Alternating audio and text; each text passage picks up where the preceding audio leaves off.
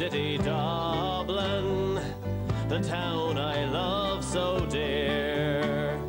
But we're after winning two million quid, so we're off to Belvedere.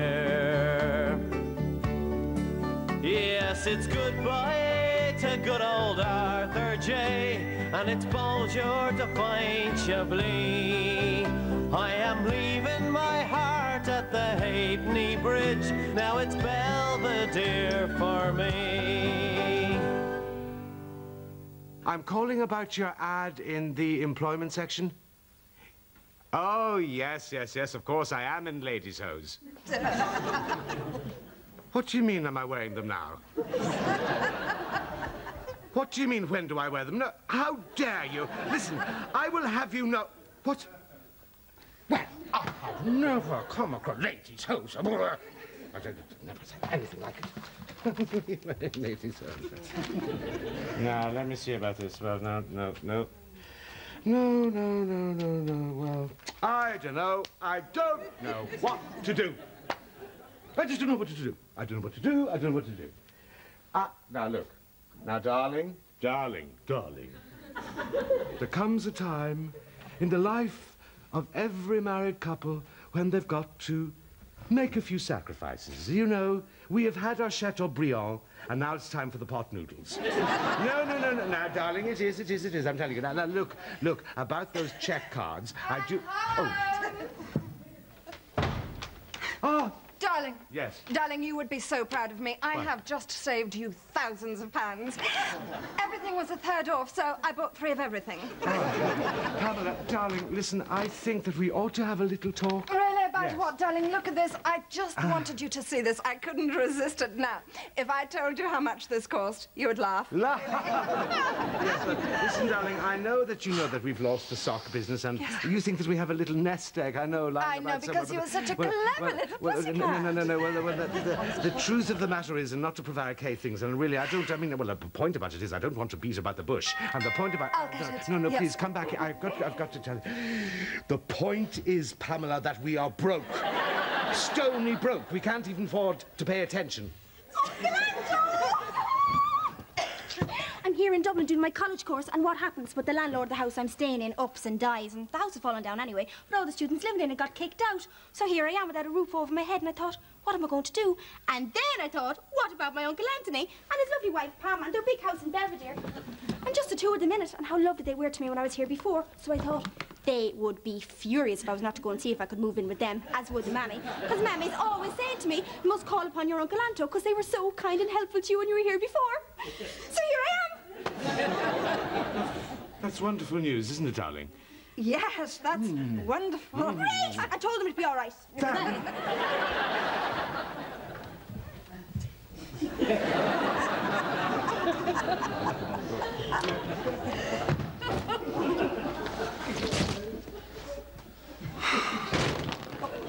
It, um, it was a pity about the landlord dying, wasn't it? Yes. He took the easy way out.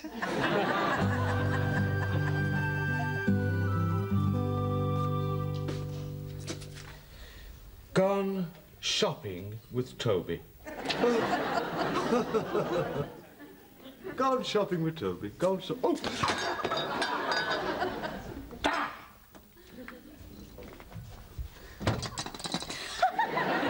Is it. And you know when they made this film, he was actually only six years younger than she was, even though he's supposed to be like 16 and she's supposed to be like ancient. But that could be because he's short. 'Cause my father said he saw him at one of those premieres and he said he could barely see him over the ice cream stand that was parked outside the pictures. Uncle Anto, come in and sit down. Bridie, make room for Anto, you big thing. Not really big. I only say that to wind her up. She loves a joke. We all do. They're a barrel of laughs. You're um, you're you're you're you're all from from Cork, are you? Yeah, yeah. I thought you might be. Che Guevara was from Cork. Who? Che Guevara, the revolutionary. Sure, he was the one with Fidel Castro in Cuba. I read in the paper. Oh, I see. And uh, was was Fidel Castro from Cork as well? Don't be silly. You You don't get people with beards like that in Cork. We despise beards. Only Drew has a beard. Maybe that's where Castro got the idea from. I mean, the Dubliners were around in the 60s. What do you mean, the, the, the, the idea for what, the revolution? No, the beard. The beard student movement. Liam's our spokesman, only he doesn't say very much because he's taken a vow of silence. Haven't you? Yes. We despise the ruling class that dictate our lives. People like yourself, Uncle Anthony. The testicles of industry. No. No, silly, that's tentacles. Money is the puss of society. We despise money. Oh, we, we despise it, yeah. Well, listen, tell me, um, um, wh- what, what do you actually, what do you live on? My parents give me allowance, Ah, and I get to use my dad's credit card. But that'll soon change and it'll be fair shares for all. That's what Liam says.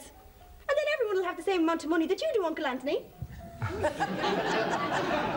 This was the Castle of Doom, the house for the most fierce giant in all the land. Inside lay horrors and nightmares almost beyond imagining. Slowly, Brendan drew near to the door at the side of the great gate.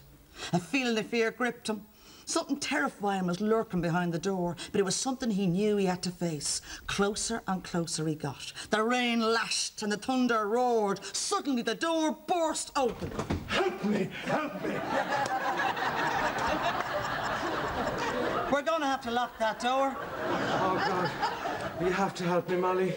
I'm being driven to insanity. You'll have to walk there. Where? To insanity. What? Yeah, Ma says you'll have to sell your car. I'm going to bring Anto into the living room for a little chat. And I don't want to be disturbed, okay? Come on, Anto. Maybe he's gone to insanity by bus. Where's this insanity place? It's out near Croke Park. How'd you know that? Because every time Dan and Uncle Willie come home from the All Ireland, Ma asks him what it was like, and he said it was close to insanity. Well, you know, they claim to be a student movement. Well, they're the most immobile movement I've ever seen. Well, Aileen's not immobile. At least she wasn't when she was here. She was always so active and positive. Exactly. I mean, wherever I go in the house, I'm either confronted by the human dynamo or the walking dead. Just tell them to get out. Ah, look, I can't, you see. Pamela likes Aileen and she doesn't want to hurt her feelings, and besides, she is family. What else can we do, Molly? Do you know what you need, Anto? A pint to unwind. Why don't I get someone to mind the kids? And I'll treat you to a jar in McGettigan's. Yeah, well, I suppose. Well, just one now. I am living in a nightmare. I am. I am. I am destitute. Mm. oh, penurious. Am I right in thinking that you're referring to your present impecunious circumstances? Do you know what puzzles me, Anto?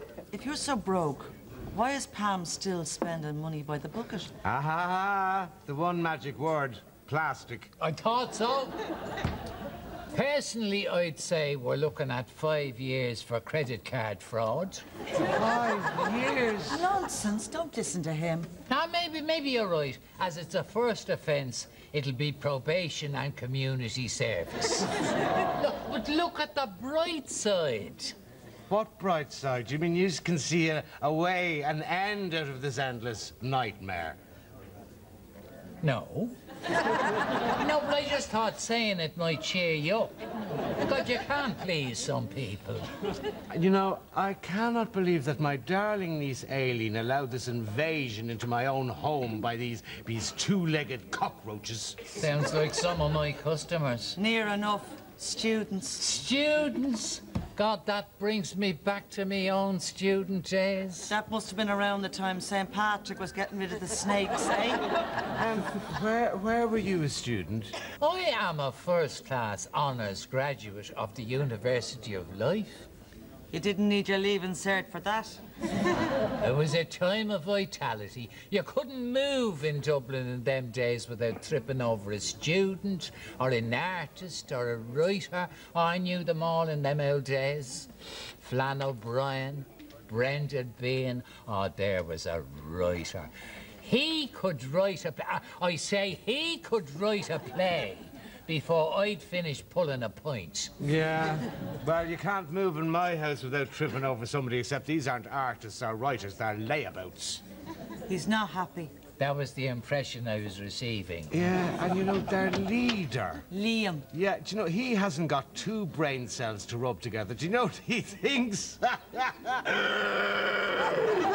he thinks that Che Guevara was born in Cork. That's stupid. exactly. He was born in Kerry. Me brother knew him. His real name was Seamus Moyle Shockland Muivoira. But of course, my brother always called him Shay. And that's how he became known the world over as Che Guevara. Do you know, I never knew that. I am going to stay here. This is my place of refuge. What'll Pam say? I don't care what Pamela says here. I'm away from those dreadful people. I've always seen my humble establishment as a little port in the storm of life. A veritable oasis of tranquility, a noble sanctuary. Here they are. Come on, everyone. I just had to show them all the places that meant so much to me when I was here before. All the places my Dublin family call home. The shops, the streets, the cafes, the little hidey places where you think no one will find you. And you're here too, Uncle Anto, so we can keep you company. You and Molly and us. One big happy family. Isn't it brilliant? That's one word for it. Somebody shoot me. You're not that lucky.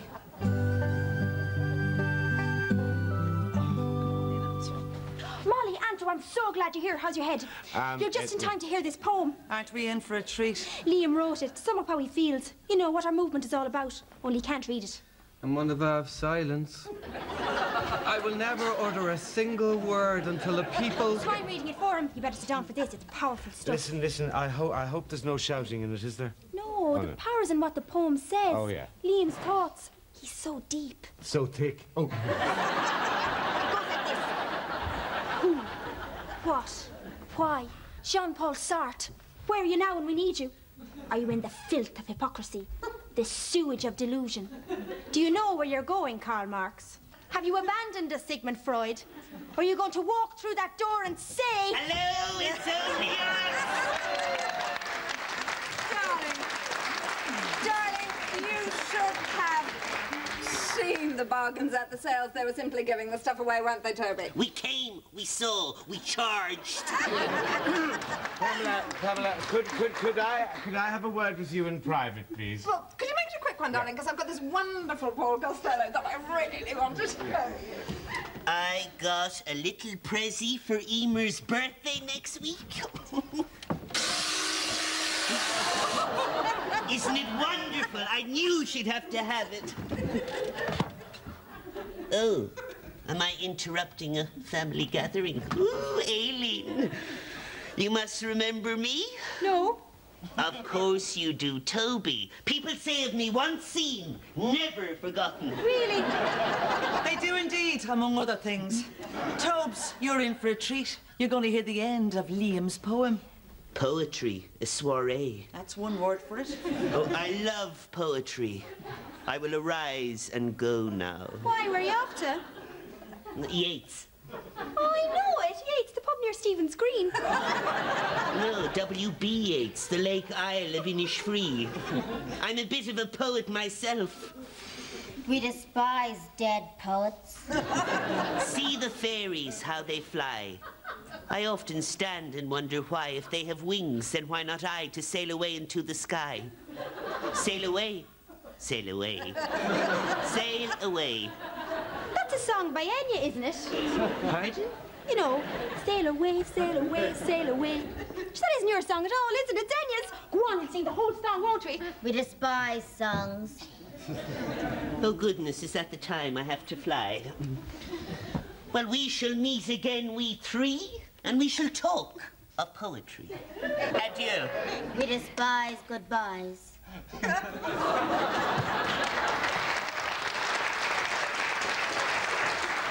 Who's the ponce? You are. Aileen, I want to ask you a favour. Anything. I've got to go out tonight. I was wondering if you and your friends would like to babysit for me. Babysit? We despise babies. Oh, you and Kurt and Tara. They're such great kids. Tell you what, we'll go over there now so the twins and Tara can get to know Liam and Bridie. That way it won't come as such a shock when you go out. Because that sort of thing can always affect a child, because I know, because when I used to babysit down in Cork, I used to always make a point to go in early so the baby could get to know my face. That way, if the poor little one woke up while the mammy was out, it wouldn't get a fright. You know what I mean? I mean, you can't have a revolutionary without babies, can you? Just wouldn't make sense, would it? No, I don't suppose it would. Right, come on, up we get. There's nothing like the smell of talcum powder when you're dusting a baby's body to make you feel that all's right with the world and our future's in tiny but safe little hands. You mean well? I'm afraid so. Absolutely. Completely and utterly. Without her. I'm afraid. Look, I did try to get another job, Pamela. Honestly. I mean, those two days that I spent as a traffic warden in O'Connell Street. oh, my God, the threats. That man with the spanner. but you know, I really want to be in socks. It's what I know and love. It's what I care about. Oh, if only that phone would ring and somebody could offer me a job in socks.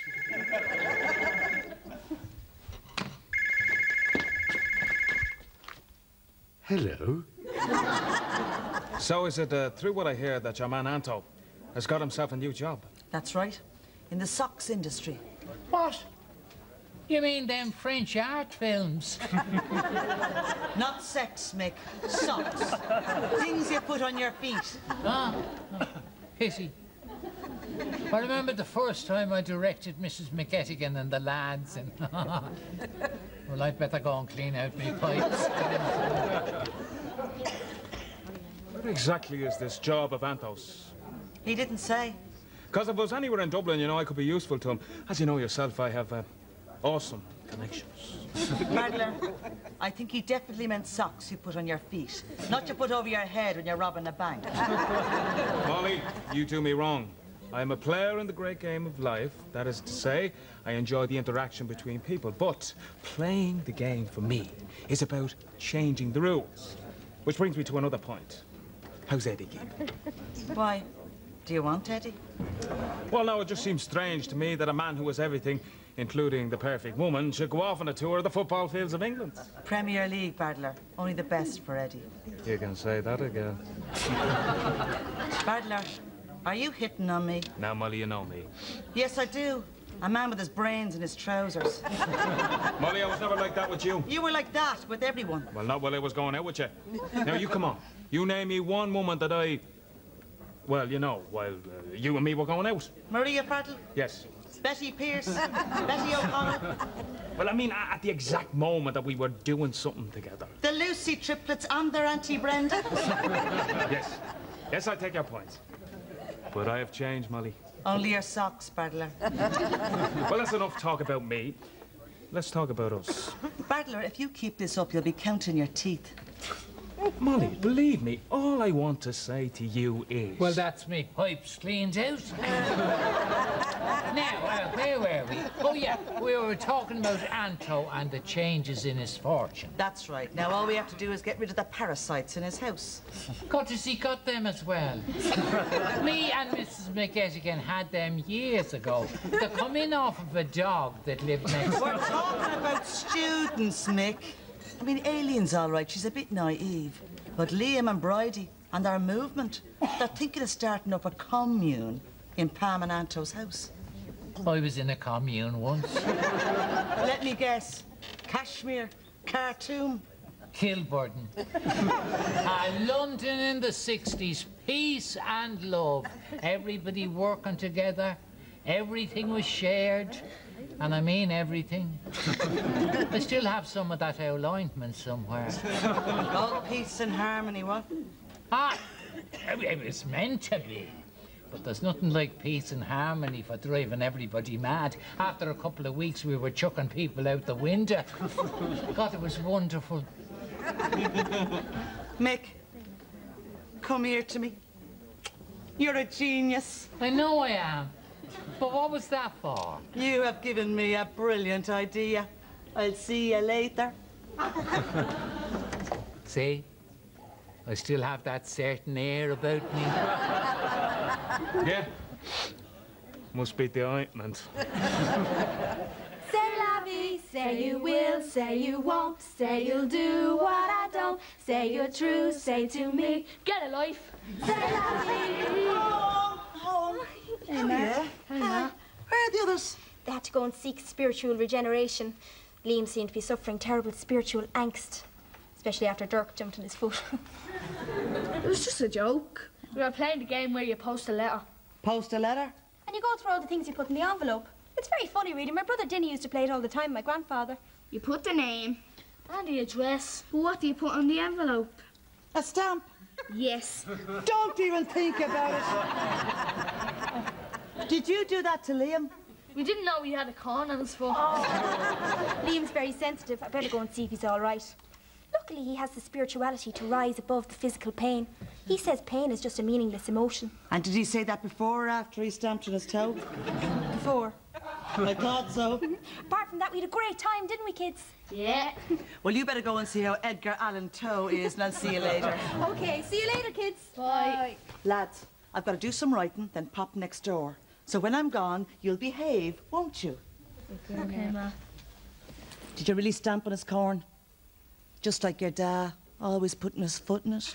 I'm afraid she's still a little bit upset. To be called such a thing and in my own home. Don't worry, my petal. I will go in there and deal with them. Deal with who? That leech, Liam. He called me a relic of outmoded materialism. outmoded? Me? I shall go in there and punch him on the nose. No need. I have a plan. And if it works, we should soon see the back of Cork's own Che Guevara. You're just in time. Liam has ended his vow of silence and is now announcing the next stage in our revolution. I'm speechless. We despise silence. Yes, in order to gain the finances needed for our struggle, I'm going to sign on the dole. Well, Liam, before you do, I've come to lend my support. You have? Yes. I want to tell you that I applaud your efforts to build a new society where everyone works together, where individual egos do not exist, where everyone works for the common good. Oh. So, here are your duty rotas. Duty rotas? Of course. Everyone working together for the common good.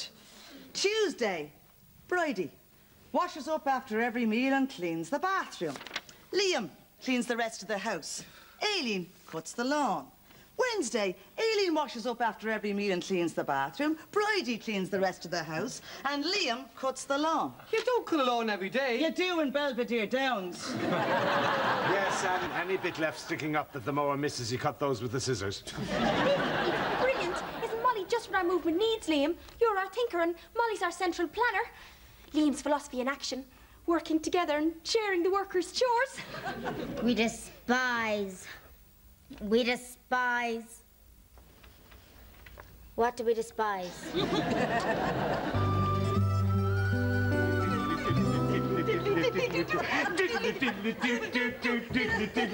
What is this? He's doing your exercises. We're celebrating! They've gone!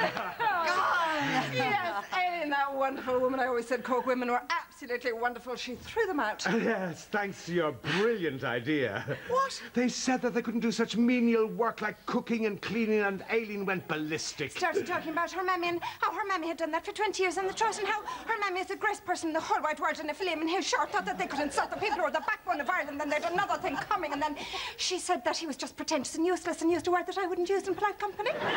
Gobshite. Anthony, please. And then she ordered them to leave. They're gone. That's yes. great. And everything is back to normal, except that Anthony has been such a tease about this new job of his. Oh, I'm not really being a tease. you are, my petal, really you are. All he'll tell me is that he's to be general manager of a brand new company. That's brilliant, Anto. Yes, and it's a huge, huge stock company with thousands of workers and um, twice the money. Well, you fell on your feet. So, Anto, where's it going to be? Come on, darling, stop being so secretive. Tell me, where will you be going to work? Naas? Howth? Dunleary? Saudi Arabia.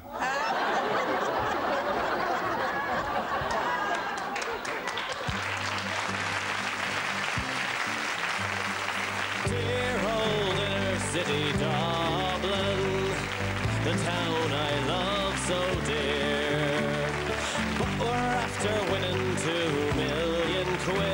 So we're off to Belvedere. Yes, it's goodbye to good old Arthur J. And it's bonjour to fine Chablis. I am leaving my heart at the Halfpenny Bridge. Now it's Belvedere for me. Yes, it's goodbye to good old Arthur J. And it's bonjour to fine Chablis. I am leaving my heart at the Halfpenny Bridge. Now it's Belvedere for me.